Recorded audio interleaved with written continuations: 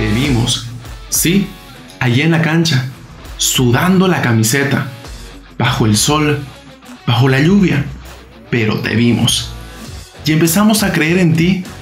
Empezamos a luchar juntos por tus sueños. Empezamos a acompañarte en cada partido, en cada cancha, en cada caída, pero sobre todo en cada gol.